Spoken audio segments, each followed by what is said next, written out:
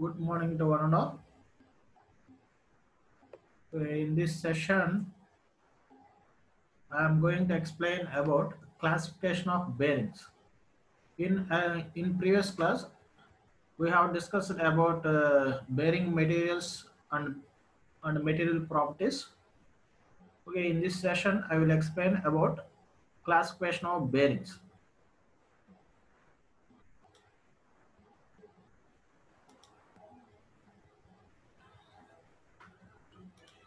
Uh, already we know that what is the function of a bearing? A bearing is a machine element which supports another moving machine element. It permits a relative motion between the contact surfaces of the members while carrying the load. Okay so this is a this is a shaft or journal. This is a moving element. Okay.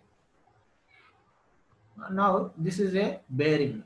Okay this is a bearing and uh, it is a it is a fixed element. Okay it is not moving. Okay. This is the assembled view of a shaft and bearing. Now before going to the classification of bearings first you have to know the, first of all you have to know about uh, loads types of loads acting on bearings. Okay. Yeah yeah, there are three types of loads acting on bearings. First one is uh, radial load, second one is axial load or thrust loads, and third one is combined load. Okay.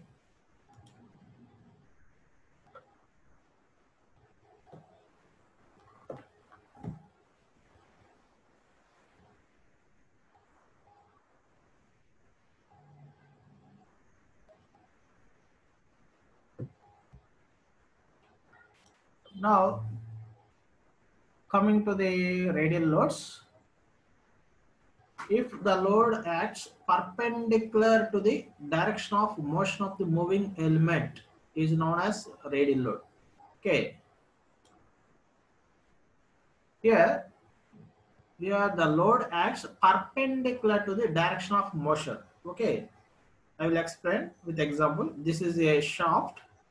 This is the isometric view here I am showing a, a orthographic view. That is a front view. I am showing the front view of a bearing. This is a shaft. Okay. This is the axis axis of the shaft. Now this is the bearing. Okay. This is a bearing. Here the load is acting on the bearing. This is the load okay this is the radial load. Here the angle between the radial load and the axis axis of the shaft is 90 degrees okay? Now in this case uh, the direction of uh, load is perpendicular to the direction of motion of the moving element okay? It makes 90 angle 90 degrees angle between the axis and load. So this call, this load is called radial load okay? Now here in this case the main load is perpendicular to the axis of the rotation axis of rotation of the moving element. So here the majority of the load is radial load. That radial load acts perpendicular to the axis of rotation of the shaft okay? This is radial load. And coming to the axial load axial load also known as uh, thrust loads okay. Here if the load acts along the direction of the motion along the direction of motion of the moving element is known as axial load or thrust load okay. Here the load is acting along the along the direction of the motion. So here, the main load is parallel to the axis of rotation of the moving element. I will explain with example. Already, already we know that shaft, this is the axis, the axis of the shaft, this is the bearing, and here the load is applying, the load is applying parallel to the axis parallel to the axis of the rotation of the shaft. Okay, here the load is parallel to the axis of the shaft. Okay, that is zero angle, zero angle between the axis and load. Okay, here the load is parallel to the axis, axis of the shaft. So the majority of the load is acting parallel to the axis of along the axis of the shaft. So that type of load is called axial load, axial load or thrust load.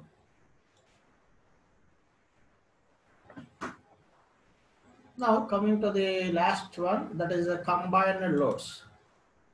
If the load acts perpendicular, perpendicular and parallel, uh, perpendicular and parallel to the direction of motion of the moving element is known as combined load. So in this case, uh, perpendicular loads and parallel loads are comes under this uh, condition. So perpendicular loads are called radial loads, parallel loads are called axial loads. Okay, shaft, axis, okay, bearing. Yeah, here one type of load is perpendicular load, that is a radial load, and another type of load is here the angle is 90 degrees, and another type of load is axial load. Okay. So here both loads are acting together. Okay.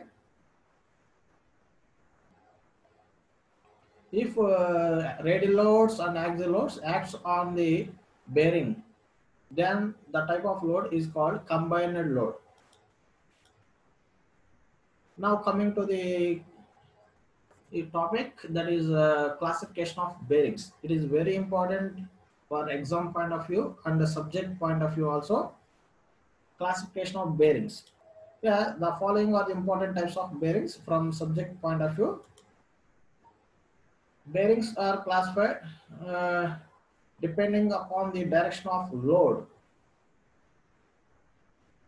Depending upon the direction of load, that is uh, uh, load acting on the bearing.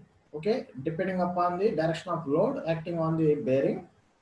And second one is depending upon the nature of contact.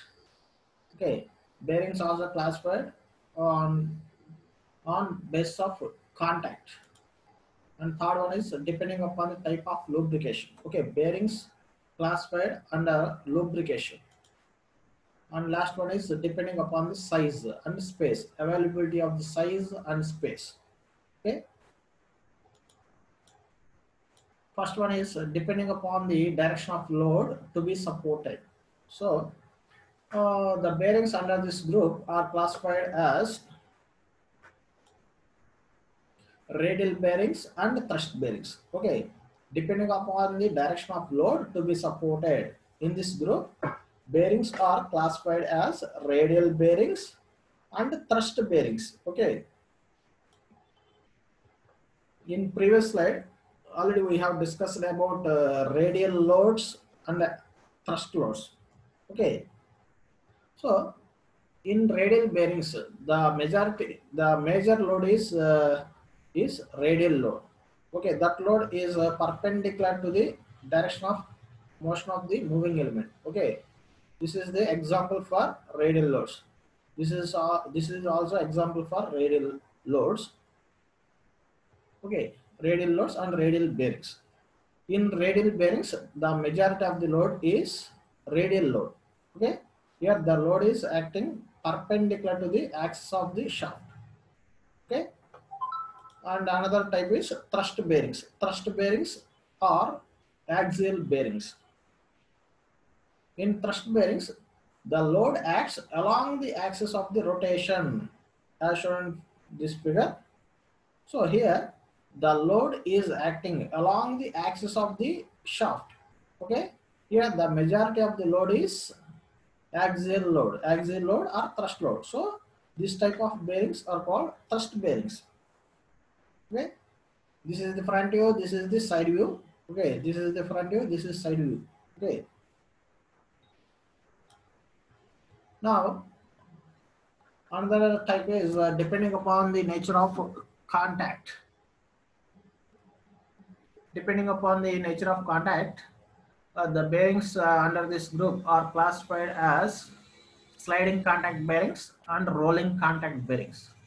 Okay, first type is sliding contact bearings. In this, in sliding contact bearings, sliding action is takes place.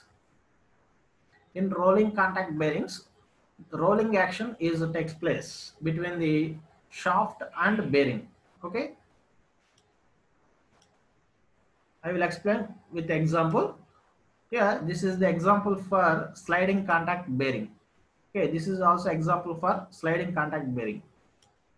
In sliding contact bearings, uh, the sliding action takes place along the surface of the contact between the moving element and the fixed element. Okay, here, here in this case, this one is bearing. This bearing is fixed element. This shaft is sliding element. Sliding or moving element. Okay. Here here also this shaft is moving element. This bearing is fixed element. Okay. Here sliding action is takes place. Here the sliding action is takes place between the shaft and bearing.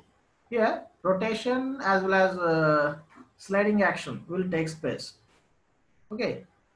In sliding contact bearings we are using lubrication for smooth running of uh, rotation and uh, rolling contact bearings. So here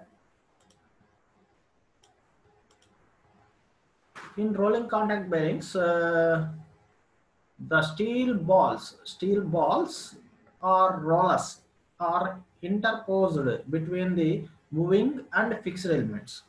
So the balls offer rolling friction at two points for each ball or roller. Okay. In rolling contact bearings, we are using balls and rollers. This is the example for ball bearing. Here, this is the sectional view, sectional view of a ball bearing. Here, this outer uh, surface is called outer race. This outer, this is this outer surface is called outer race and the this inner surface is called inner race and uh, these are called these balls are called uh, rolling elements rolling elements. These balls are called rolling elements. For separating each ball we are using retainer. This is called retainer. Okay. So here these are the balls these balls are using in this ball bearing. Okay, ball bearing is the example for rolling contact bearings. Okay, this is the another example that is a rolling bearings. These are called uh, rolling bearings, roller bearings. Here, here also rolling uh, rolling action is takes place. Here we are using a rollers instead of balls for uh, maintaining high capacity loads. Here also this is uh, outer race, outer race of this uh, roller bearing. This is the inner race of the bearing. This is called, this is, uh, these rollers are called rolling elements. Okay. And this one is called retainer. Okay, retainer this is a single row single row roller bearings. Okay here one row. Here cylinders are arranged in a single row. This is the example for double row double row roller bearings. In these bearings we are using two rows. Okay. Here also this is outer race this is inner race this is a retainer retainer and these are called rolling elements. Okay here rollers are using. Now third type is uh, depending upon the type of lubrication. Okay uh, under this group uh, bearings are classified as thick film or hydrodynamic bearings thin film bearings zero film bearings and fourth one is hydrostatic or externally pressurized lubricated bearings. I will explain one by one.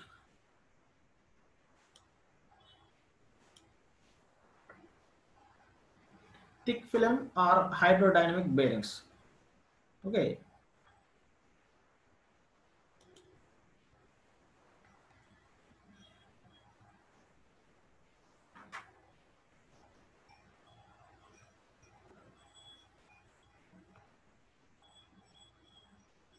Any doubts, please ask me.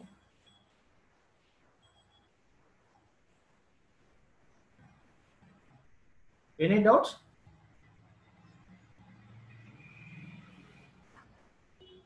Please ask me.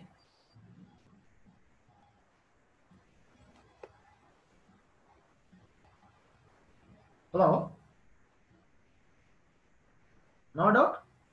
Okay, I will continue.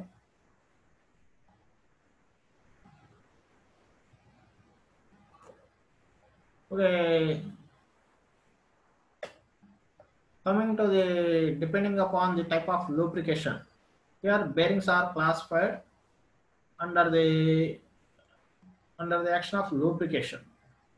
Here we are uh, we are classified this as uh, thick film or hydrodynamic bearings, thin film bearings, zero film bearings, hydrostatic or externally pressurized lubricated bearings. Now coming to the thick film or hydrodynamic bearings. So in thick film bearings, uh, thick film bearings are those in which the working surfaces are completely separated by completely separated by the lubricant. Okay, so here we are using a lubricant okay. Such type of bearings are also called as hydrodynamic lubricated bearings. Here in thick film lubrication in thick film or hydrodynamic bearings we are using a lubrication in a thick layer. Okay. The thick film bearings are those in which the working surfaces are completely separated by the lubricant. Okay. Here we are using high amount of lubricant for smooth running or running of the shaft. Now coming to the second type that is uh, thin film bearings. The thin film bearings are those in which although lubricant is present, the working surfaces partially partially contact partially contact each other at least part of the time such type of bearings are also called boundary lubricated bearings. Okay, here, uh, here also we are using lubrication or lubricants, but here we are using less less amount of lubrication. Okay, here for these bearings are these uh, type of bearings. These uh, thin film bearings are using at uh, low speeds and low weights. As well as thick film bearings or hydrodynamic bearings are using at uh, at high capacity loads high loads and high speed engines. Now coming to the third type that is a zero film bearings. The zero film bearings are those which operate without any lubricant present. Okay, in zero film bearings, we are not using any type of lubricant. Okay, there is no presence of lubricant between the bearing and shaft. Okay. Now coming to the last type, that is a hydrostatic or externally pressurized lubricated bearings. Uh, hydrostatic bearings are those which can support steady loads without any relative motion between the journal and bearing. This is achieved by forcing externally pressurized lubricant between the members. Okay. In hydrostatic bearings, we are using a continuous lubrication. Okay. Here for uh, here we are maintaining high high pressure. Okay.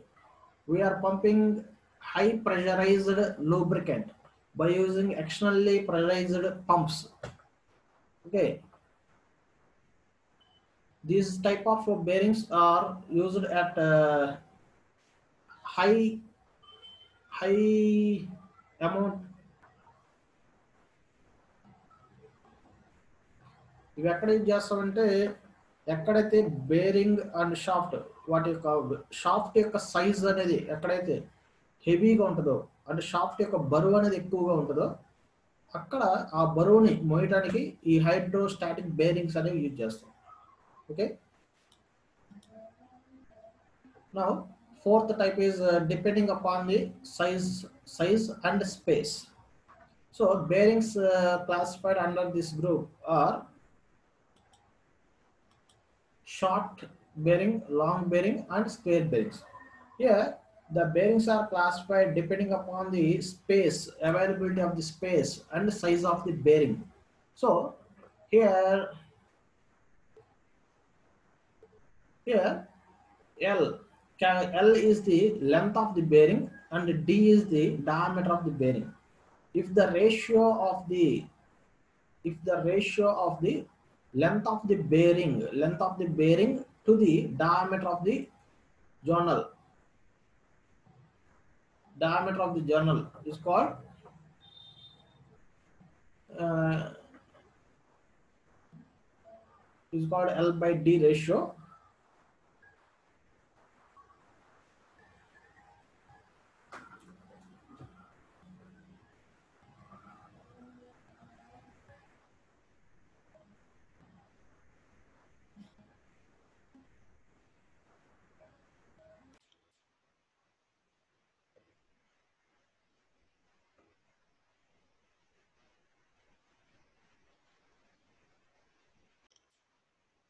Okay, uh, depending upon the size and uh, availability of space, bearings uh, classified as short bearings, long bearings, and square bearings. Here, L is the length of the bearing, D is the diameter of the shaft, diameter of the shaft or diameter of the journal. Okay, when when the L by D ratio is less than one, then the bearing is uh, said to be short bearing. Okay. When the ratio of L by D ratio is less than 1, then the bearing is said to be short bearing.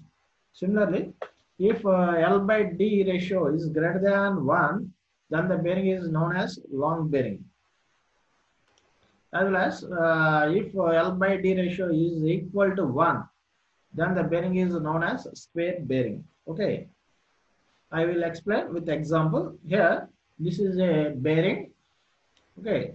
This is the length of the bearing. This is a capital l. Is the length of the bearing. Capital l or small l whatever it may be this is the length length of the bearing. Okay. Now here this is the diameter. Inner diameter of a bearing equal to diameter of a shaft. Okay. Here the diameter of a shaft equal to inner diameter of a bearing. So this is the diameter of a journal or diameter of a moving element. So the ratio of uh, L by D is less than 1, then the bearing is said to be short bearing. So here the value of length, length of the bearing is always less than the diameter of the shaft. Okay. In short bearings, the length of the bearing is less than the diameter of the shaft. Okay. D is the diameter of the shaft. Okay. In short bearings, length less than the diameter. Okay, length of the bearing less than the diameter of the shaft. Similarly, in this case, this is the length of the bearing. Okay, this is the length of the bearing. This is the diameter of the journal, diameter of the journal or diameter of the inner diameter of the bearing. Here, here the length is uh, greater than the diameter. Okay so this type of bearing is called long bearing. In long bearings the length the length of the bearing is greater than the diameter of the shaft. Okay so the, these uh, bearings are called long bearings. Similarly, in this uh, in this type, here the length here the length is equal to diameter of the shaft. Okay, length of the bearing equal to diameter of the shaft. In this case, if the length is equal to diameter, then this type of bearings are called square bearings. Okay. So I will repeat again. If uh, if length is less than the diameter, then the type of bearing is called short bearing. If the length is greater than the diameter, then the bearing is called long bearing. Okay. If the length of the bearing equal to diameter of the bearing, then the bearing is called square bearing. Okay.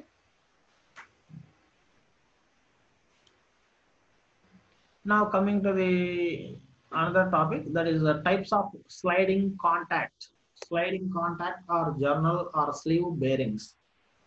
Okay.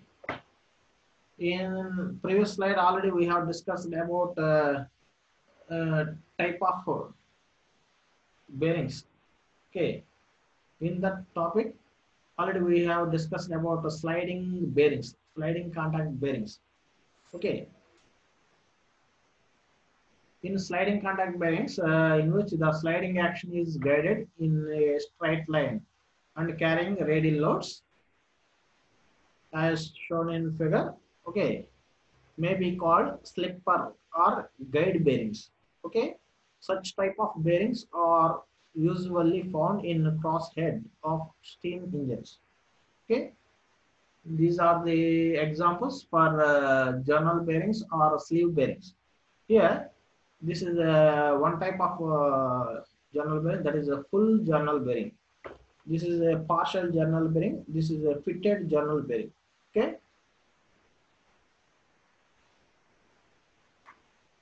here this is the a shaft this is a shaft this outer outside uh, surface is called uh, fixed fixed uh, body that is a bearing okay fixed surface or a bearing. This inside a rolling body is called shaft. Okay. This is a shaft. This is a bearing. Here there is a clearance between the shaft and bearing. Okay. For providing the lubrication, lubricants. Okay. Here, here also this is a bearing. This is a shaft. Okay. Here also this is a bearing. This is a shaft. Uh, here in partial journal bearings, there is no, uh, sorry, here uh, we are also providing lubricant. In partial journal bearings, we are also providing lubricant between the shaft and bearing. But the size of the bearing is 120 degrees. Okay. Here in fitted journal bearings, there is no clearance between the shaft and bearing. In in full journal bearing and uh, partial journal bearing, we are providing clearance, clearance between shaft and bearing. But in fitted journal bearing, we don't provide any clearance, any gap between a shaft and bearing. Okay, that's why it is called fitted journal bearing. Okay. Okay, when the angle of contact of the bearing with the journal is 360 degrees. That is a complete round. As shown in figure A, then the bearing is called full journal bearing. Okay. Here, the angle of uh, bearing is 360 degrees. That is one complete revolution. Okay. This type of bearing is commonly used in uh, industrial machineries to accommodate uh, bearing loads in any radial directions. Okay. Now, uh, when the angle of contact of the bearing, when the angle of contact of the bearing with the journal is 120 degrees, okay, then the bearing is said to be partial journal bearing. This type of bearing has uh, less friction, less friction than uh, full journal bearing but it can be used only where the load is always in one direction. Okay. the most common application of uh, this partial journal bearing is found in railroad car axles. Okay. The full and partial journal bearings may be called as clearance bearings. Okay. Because the diameter of the journal is uh, less than the less than that of the size of the bearing. Okay. Here the size of the bearing is more than the size of the shaft in full journal bearings and uh, partial journal bearings when a partial journal bearing has no clearance that is uh, the diameter of the journal and uh, the size of the bearing are equal then the bearing is called fitted bearing. Okay in fitted bearing the size of the shaft uh, that means the diameter of the shaft equal to diameter of the bearing. Okay there is no clearance between the shaft and bearing. So then the bearing is called fitted bearing. Okay? Okay friends uh, tomorrow i will explain about uh, some basic terms used in uh, journal bearings. Okay